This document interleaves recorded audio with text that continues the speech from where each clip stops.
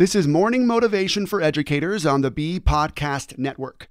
Learn about all the shows at bpodcastnetwork.com. You'll hear from a variety of formal and informal educators who help put this podcast together. If you'd like to contribute your voice to the show, please go to morningmotivationedu.com to apply. My name is Joey Mascio. I was a middle school teacher for seven years, and now I run Sidekick to Hero, a gamified mindset training program that helps teens with confidence, social skills, and goals. It's available now on desktop at sidekicktohero.com. Today, I want to talk about not letting your age stop you. I just did a podcast for the teens that I talk to, and you know teens do it, right? I mean, teens are looking forward to ages so much. Every age is a milestone, but that also lets them limit themselves where they think they can't take leadership positions, for example, because they're the youngest one in the room, or they can't start working and earning money yet because they're only 13 or 14. So that, that's out of the question. And sometimes they let their age limit them. Well, letting your age limit you isn't just something that teens do. You know that we do it too. In fact, tomorrow is my 40th birthday. Today's my last day in my 30s, and my brain is creating so much drama that I have to work on uh, deleting from my brain. My brain wants to tell me, dude, once you're 40, it means you should have these things or you should be these things. And you can no longer be these other things. And I, I don't care how old or young you are, your age is just a number. And especially for you adults, I mean, once, once you hit 21, there's little that you're actually limited by when it comes to the government or other organizations, right? Like literally the world is your your oyster. But there's thoughts out there. You're too old to start doing blank. You're too young to really step into any leadership positions at your school. Yeah, all those thoughts are not helpful and not even true because age is really irrelevant to what you can and can't accomplish.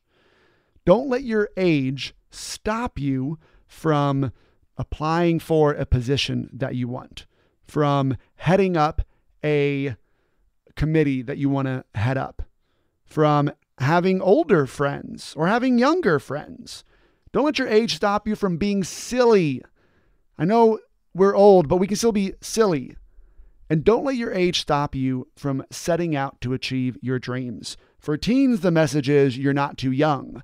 But when I talk to adults, the message changes to you're not too old to start pursuing any dreams that you want to uh, to pursue. Now, I'm saying age here in the number of age, but you can also apply this to how many years you've been a teacher or an administrator sometimes we're like, well, no, this is this is your first year. You shouldn't be doing all these things. I remember my very first year being a teacher, I hit the ground running.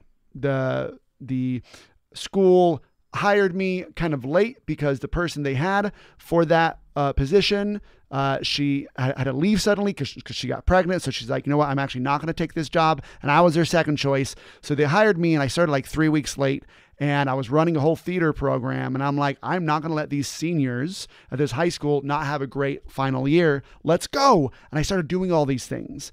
And I remember my department chair came up to me about a month in and sat me down and said, Look, Joey, you're, you're doing too much right? You got to learn how to be a teacher first before you can, you know, run these giant fundraisers and do these other things. And I was like, no, I, I don't, I don't think I, I do. Like, I'll, I'll figure it all out as I go.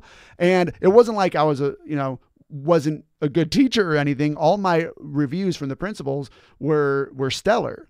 But she just thought she was limited in her mind, so she was attempting to limit me to limit me in mine and say, you know what, you shouldn't be doing all these things. Just focus on being in the classroom. And I'm like, you know what, I, that's just not me. Sorry. And she really didn't like it. But I went ahead anyway and I did it. And those students, those seniors especially, had a really great final year uh, because uh, I did not let my mind limit myself. So ask yourself how are you letting a number stop you in your life? What limitations do you put on yourself, or do you let the world or others put on you that just aren't real? Because your age will always change, every year, in fact. But what I want to always stay the same for you is your freedom to be who you want to be. Age is just a number. It's the thoughts you think and the actions you take that make your life what it is and what it is not. Thanks for listening, and whatever role you have in education, we have a podcast for you at bpodcastnetwork.com. Who among your friends and colleagues needs to hear this message today? Please share it with them right now.